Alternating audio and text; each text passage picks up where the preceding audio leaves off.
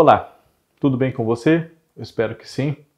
Eu sou Fábio Costa e esse, como em todas as quintas-feiras aqui, é o TBT da TV do canal do Observatório da TV no YouTube. Peço a você que faça sua inscrição aqui no canal se não tiver feito ainda, ative as notificações e acompanhe também, assim como você não deve perder os nossos conteúdos aqui fazendo essas notificações para te avisar e tudo mais, você tem a plataforma digital de áudio da sua preferência onde você também tem a oportunidade de acompanhar os conteúdos do Grupo Observatório. No dia 24 de fevereiro de 1986, há 35 anos nesta semana, portanto, né, a Rede Globo levava ao ar o primeiro capítulo do único, até hoje, o único remake de uma novela apresentado pela emissora em seu horário mais nobre de teledramaturgia, que hoje é a novela das nove. Né? Naquela altura era chamada de novela das oito, porque começava entre 8 e 25 e 8 e meia. Né? Selva de Pedra, de Janete Claire. Selva de Pedra, é, na ocasião, teve adaptação no seu texto feita por Regina Braga e Eloy Araújo. Regina Braga, que não é a mãe do Gabriel Braga Nunes, não é a atriz, é uma dramaturga, uma escritora homônima da atriz, tá? E que também escreveu nessa mesma época minisséries como Tenda dos Milagres, com Agnaldo Silva, né, e O Tempo e o Vento, com Doc Comparato. É, por que Selva de Pedra? Selva de Pedra foi escolhida nessa ocasião, né, em, na virada ali, no final de 85, ela foi escolhida para substituir Rock Santeiro, por quê? Essa novela do Dias Gomes, né, que foi escrita também pelo Agnaldo Silva, teve como colaboradores ali o Marcílio Moraes e o Joaquim Assis, né, baseada numa peça do Dias Gomes, O Berço do Herói. Essa novela foi, se não o maior, um dos maiores fenômenos de audiência da televisão brasileira. Né? E, por conta disso, a responsabilidade de escolher o que, que viria no lugar de Rock Santeiro era muito grande, né? para a empresa, para a emissora, né? e também para aqueles que fossem responsáveis por fazê-la. Na época, Dias Gomes ele cuidava de um projeto interno na TV Globo chamado Casa de Criação Jeanette Claire, que se propunha a revelar novos autores para a dramaturgia de televisão né, e também para é, melhorar, contribuir para os projetos que já fossem produzidos com os autores da casa. Né? É, em poucas palavras, eventualmente fazer intervenções ou dar palpite, enfim, não é? Tentar ali colocar a coisa nos eixos, caso fosse necessário, se não em ibope, mas também artisticamente. Né? Então havia casa de autores, na casa de criação, e dali saíram diversos nomes que depois contribuíram muito para a dramaturgia da emissora. Né?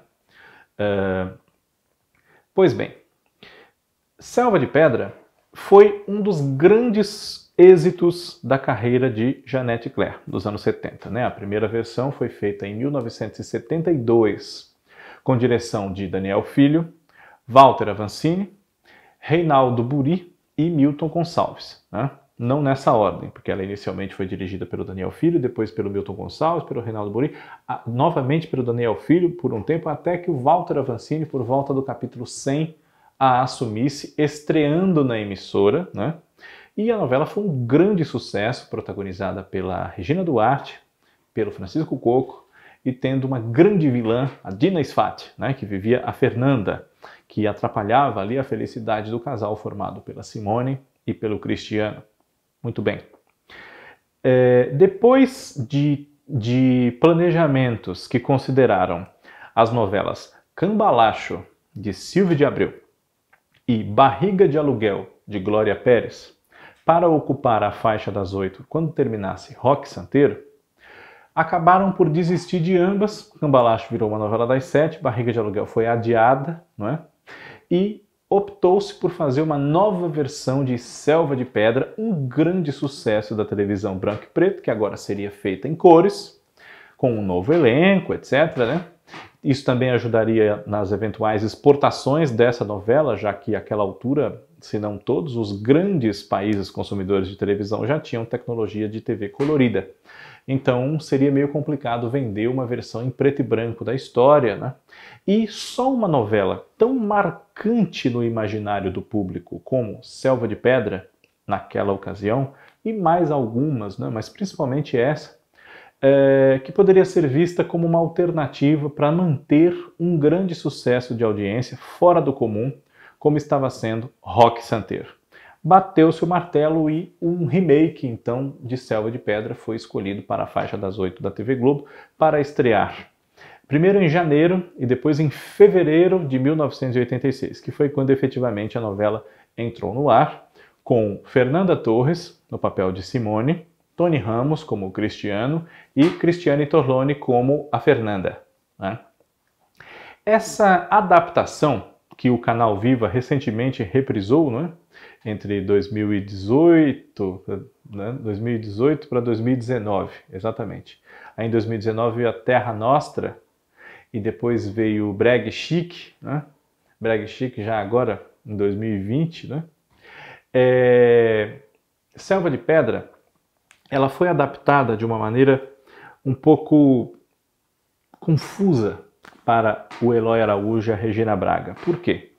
Porque os seus 243 capítulos originais, eles não foram apreciados pela Regina e pelo Eloy de uma vez para compor um novo trabalho a partir de um todo que eles conhecessem. Eles foram sendo adaptados em blocos, né? E isso é uma constante. Vários processos de adaptação interna ou externa com textos importados, né? Então, eles tinham um pouco de dificuldade para fazer maiores transformações que atualizassem aquela história dos anos 70, que o Brasil havia se transformado substancialmente, embora o que separasse a, a, primeira e a segunda versões fosse um período de apenas 13 anos, até se a gente for considerar o fim de uma e o começo da outra, né? Então, é, eles tinham uma dificuldade de modificar muito sensivelmente a história já que talvez coisas que eles fizessem comprometessem o que viria depois e que eles não conheciam ainda, né? Porque uma coisa é você assistir como espectador e se lembrar e ter uma noção do todo, e outra coisa é ter que escrever cena por cena, diálogo a diálogo, eventualmente mudar uma história de uma autora mais do que consagrada e que aquela autora já estava inclusive já havia falecido, já estava inclusive morta, né? E de memória muito cultuada, que é a Janete Claire, né? Então, é, essa foi uma grande dificuldade dos autores da adaptação e eles relataram essa dificuldade numa entrevista à revista Amiga, por ocasião do fim da novela, salvo engano meu. Né? E é claro que quando você tem uma novela tão imexível, como diria o outro, a exemplo de Selva de Pedra, é, é complicado o que você muda, como muda, né? por que muda, e conduzir essa história que é muito sua, mas ao mesmo tempo não é, é um trabalho realmente que deve ser muito elaborado e acaba sendo muito estressante também, sem dúvida. Não é? Além disso, é, o elenco tem, tem influências de um diretor que foi escalado para dirigir a novela, implantá-la, não é? fazer os seus primeiros 20 capítulos, que foi justamente o Walter Avancini, que dirigiu mais da metade da história da primeira vez. Né? Então, como em qualquer trabalho de escalação de elenco, né, depende muito do diretor que escala. E ele teve toda a liberdade para escalar o elenco que ele quisesse. Né? Inclusive, há aí algumas histórias de mudanças né, ou de nomes inicialmente pretendidos que acabaram não fazendo a novela. Por exemplo, é, Lucélia Santos e Bruna Lombardi estiveram nas considerações iniciais para papéis importantes em Selva de Pedra, né? É, ambas para o papel de Fernanda, se eu não me engano agora. E é, acabou que Bruna Lombardi não fez a novela e Lucélia Santos foi fazer outro horário da dramaturgia da emissora, que foi a novela das seis, Sim, a Moça, né? Ela foi até deslocada para esse projeto, que na época já tinha um apelo internacional muito grande, e desejava-se que a dupla de Escrava Isaura fosse retomada. Lucélia Santos e Rubens de Falco. Né? Então, Cristiane Torlone ganhou esse papel e desempenhou brilhantemente. Né? Tony Ramos fez um Cristiano que não imitava o Cristiano de Francisco Cuoco, mas também teve o seu valor, né? dado o grande talento do ator, que dispensa maiores comentários também. Né? Além deles, é... Silvia Bandeira chegou a gravar os primeiros 20 capítulos como Laura, que é a tia do Cristiano, né? a esposa do seu tio Aristides, que era o Valmor Chagas, mas é, Daniel Filho trocou a, a Silvia Bandeira por Maria Zilda Bethlen. E Maria Zilda Bethlen então teve mais ou menos um fim de semana para gravar cenas da personagem de 20 capítulos. Né? porque ele considerava mais adequado para o papel desde o princípio e Walter Avancini bateu o pé por Silvia Bandeira, então acabou que trocaram a atriz, né? E isso foi bastante comentado na época, claro, né? É, Fernanda Torres, para o papel de Simone, que havia marcado a memória dos espectadores como é, Regina Duarte, né? Regina Duarte havia feito esse papel de uma maneira muito, muito intensa na emoção do público, né? foi um dos grandes personagens da carreira dela. E foi escolhida Fernanda Torres porque ela era uma atriz na época em franca ascensão. Né? Ela era ainda bastante jovem, mas já era premiada internacionalmente. Né? Já havia feito filmes de sucesso, é, Inocência, Com Licença Vou à Luta, e, e Marvada Carne, também é, esses prêmios fizeram com que ela acabasse sendo muito visada para finalmente fazer uma novela como protagonista. Ela não era uma neófita em televisão, né? Ela já havia feito Baila Comigo em 1981, Brilhante entre 81 e 82, duas novelas seguidas das oito, né? E tinha feito também uma novela das dez da Janete Claire, Eu Prometo, entre 83 e 84 em uma minissérie Parabéns para Você, que foi exibida no começo de 83 também. Né? Fernanda já havia feito televisão, embora fosse bastante jovem, mas era a primeira protagonista. Né? Ela, digamos assim, que as coisas vão acontecendo na vida do ator. Né? Ela mesma conta isso num Roda Viva, que já se tornou clássico, é um programa histórico. Né? E ela conta que você chega um momento na vida em que, quem sabe, um convite para fazer uma novela das oito cai no seu colo. E caiu. Né? Ela foi convidada para fazer logo essa novela, um grande clássico, Selva de Pedra, e ficou muito empolgada com a possibilidade. Né?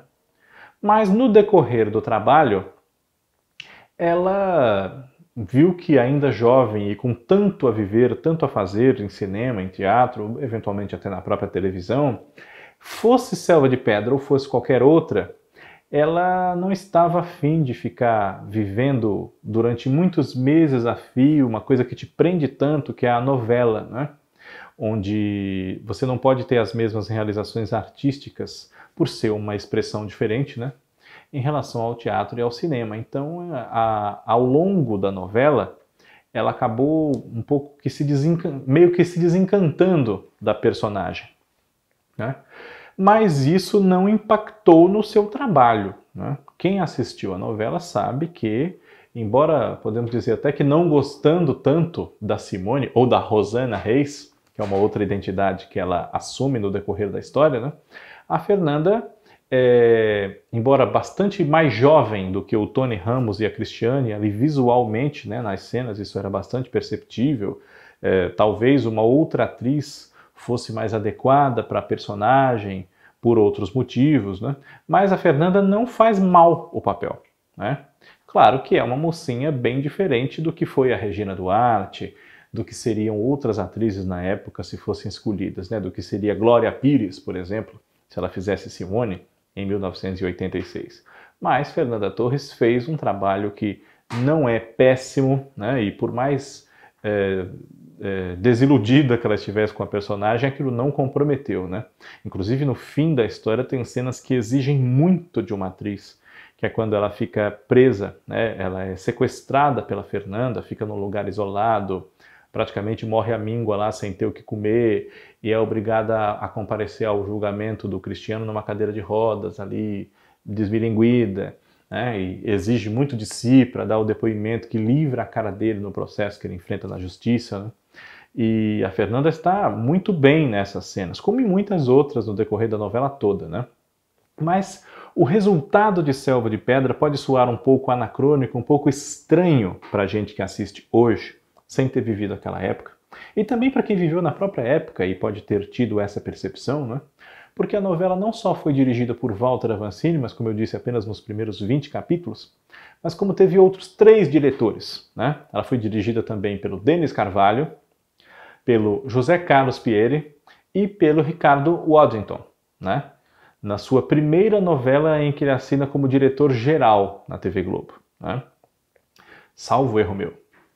Então, é, é claro que vários diretores trabalhando no decorrer de uma novela é, não era algo difícil de acontecer, né? Já vimos acontecer em diversas novelas. Falei, da, inclusive, da própria primeira versão da história, da mesma Selva de Pedra, né?